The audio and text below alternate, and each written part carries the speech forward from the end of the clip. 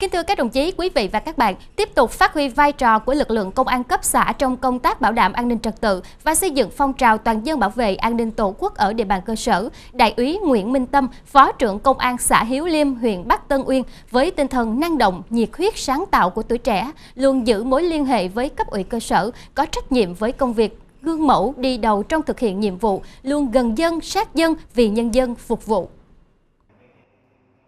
Thực hiện chủ trương giới thiệu công an chính quy tham gia ban chấp hành, ban thường vụ và bầu chức danh phó bí thư kiêm nhiệm đoàn cấp xã, đại úy Nguyễn Minh Tâm đã không ngừng học hỏi tu dưỡng rèn luyện theo 6 điều bác Hồ dạy công an nhân dân, gương mẫu trong thực hiện cuộc vận động học tập và làm theo tư tưởng đạo đức phong cách Hồ Chí Minh, chủ động tham mưu cấp ủy chính quyền địa phương các giải pháp để nâng cao hiệu quả công tác phòng chống tội phạm, bảo đảm an ninh trật tự trên địa bàn xã.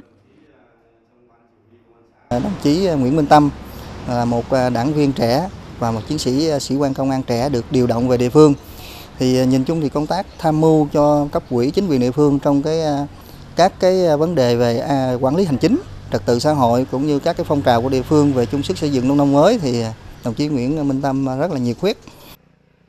với vai trò là phó trưởng công an xã phụ trách các lĩnh vực như phòng chống tội phạm, xây dựng phong trào toàn dân bảo vệ an ninh tổ quốc, phòng cháy chữa cháy, cứu nạn cứu hộ, đại úy Nguyễn Minh Tâm luôn thể hiện tinh thần trách nhiệm, thay đổi cách thức làm việc để nâng cao chất lượng hiệu quả công việc, trong đó thường xuyên phối hợp với các lực lượng tổ chức tuần tra khép kín địa bàn, bảo đảm an ninh trật tự và trật tự an toàn giao thông. Với tinh thần à, đấu tranh phòng chống tội phạm thì lấy à, vai trò phòng ngừa là chính, thì bản thân cũng đưa cao cái cái à, phòng ngừa cái xã hội ưu tiên. Thì với vai trò là một cơ quan thường trực ờ, thì tôi cũng đã tham mưu cho trưởng ban chỉ đạo một ba tám xã, thì ban hành nhiều cái chương trình, kế hoạch phối hợp cái ban ngành đồng thể xã tổ chức các buổi tuyên truyền cũng như cái ờ, đặc biệt là chú trọng vào cái tuyên truyền về phòng chống tội phạm ờ, trong tình ờ, tình hình mới hiện nay như là tội phạm lừa đảo, công nghệ cao cũng như giải danh cơ quan nhà nước. Thì các buổi tuyên truyền đó thì tôi cũng đã lồng ghép vô các cuộc hội họp cũng như các sinh hoạt cộng đồng. Thì đấy các nội dung, hình thức thì cũng phong phú dễ hiểu để cho người dân dễ dàng tiếp thu với tinh thần hết lòng vì nhân dân phục vụ, đại úy Nguyễn Minh Tâm huy động lực lượng đoàn viên phối hợp với công an xã tăng cường, thường xuyên bám sát cơ sở, kịp thời nắm bắt tâm tư nguyện vọng của người dân, qua đó dẫn động các gia đình thực hiện nếp sống văn hóa, chấp hành tốt chủ trương, đường lối chính sách của đảng, pháp luật của nhà nước với các tiêu chí không có tội phạm, không có tai nạn, tệ nạn, không có ma túy, không vi phạm pháp luật trật tự an toàn giao thông, không mâu thuẫn tranh chấp. Trong cái à, dịp Tết đó, là các ông chị à, đồng chí Tâm và các ông chị xuống à, địa bàn là tuyên truyền nhân dân không được đốt pháo không đúng quy định của pháp luật. Và các cái công việc nhân dân cần gọi điện báo thì các ông chí xuống nhanh chóng kịp thời xuống giải quyết và nhanh gọn tuyên truyền nhân dân phải cảnh giác. Rồi các cái thủ tục uh, cư trú á, thì nhân dân lên là cơ quan công an thì à, được à, anh em tận tình hướng dẫn à, cụ thể và làm nhanh gọn để nhân dân khỏi mất thời gian.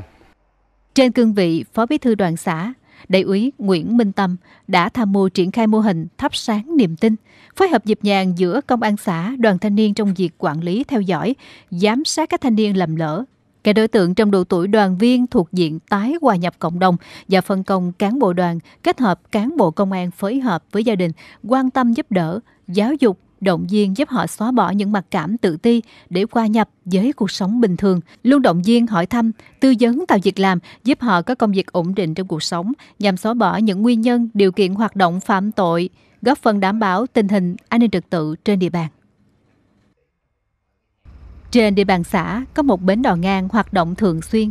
đưa người dân phương tiện qua sông, nhằm đảm bảo trật tự an toàn giao thông đường thủy nội địa, bảo đảm an toàn tính mạng tài sản của người qua lại trên bến đò. Đại úy Nguyễn Minh Tâm đã tham mưu cho Quỹ ban Nhân dân xã xây dựng và thực hiện mô hình bến đò ngang an toàn dưới sự tham gia hoạt động tình nguyện của lực lượng đoàn viên, hội viên, thanh niên thông qua việc thường xuyên tuyên truyền, nhắc nhở chủ đò cũng như người dân chấp hành nghiêm các quy định về an toàn như mặc áo phao, dừng đổ phương tiện, trật tự, ngay ngắn. À, bên cạnh ờ, nhiệm vụ nòng cốt là bảo vệ an ninh trật tự tại địa phương thì với vai trò là phó bí thư đoàn thanh niên xã thì đồng chí đã xung kích à, sáng tạo và đề ra nhiều giải pháp cho cấp ủy và ủy ban dân xã và ban chấp hành đoàn xã trong việc thực hiện đề án 06 và chuyển đổi số. À, cùng với đó thì tính từ đầu nhiệm kỳ đến nay thì đồng chí đã tham mưu cho ban chấp hành đoàn xã tổ chức được hơn 30 buổi tuyên truyền pháp luật cho hơn 2.000 lượt à, cán bộ đoàn viên thanh niên và người dân trên địa bàn xã. Rõ ràng thông qua tổ chức đoàn trên địa bàn dân cư, lực lượng công an chính quy kiêm nhiệm cán bộ đoàn cấp xã đã thực sự phát huy tốt vai trò xung kích của đoàn thanh niên, tham gia các mô hình phần việc, các nhiệm vụ chính trị mà cấp ủy chính quyền giao. Ghi nhận trên địa bàn xã Hiếu Liêm những năm qua, tình hình an ninh trật tự luôn được giữ vững, không có trọng án, không xảy ra điểm nóng phức tạp về an ninh trật tự. Trong các cái phong trào đoàn của địa phương trong thời gian qua là đã nâng lên được một bước thể hiện như là cái về cái đề án 06 mà đoàn thanh niên cũng là chủ lực và cái chuyển đổi số cũng như là các cái phong trào quần chúng bảo vệ an ninh tổ quốc và phòng chống tội phạm và giáo dục à, trẻ em làm lỡ ở địa phương thì nói chung là các cái vấn đề này thì chỗ đồng chí Tâm là thực hiện rất là tốt và cái à, ban chấp hành ban thường vụ xã đoàn trong thời gian qua là về mặt à, chất lượng đã được nâng lên một bước sau khi cái đề án à, công an xã là tham gia cái lực lượng à, ban chấp hành xã đoàn xã. Những kết quả đạt được trong công tác bảo đảm an ninh trật tự trên địa bàn xã Hiếu Liêm cho thấy chủ trương giới thiệu công an chính quy tham gia ban chấp hành, ban thường vụ và bầu giữ chức danh phó bí thư kiêm nhiệm đoàn cấp xã là phù hợp với yêu cầu nhiệm vụ xây dựng lực lượng công an cấp xã thực sự trong sạch vững mạnh, chính quy, tinh nhuệ, hiện đại trong tình hình hiện nay. Qua đó tiếp tục xây dựng hình ảnh đẹp về người chiến sĩ công an Bình Dương vì nhân dân phục vụ.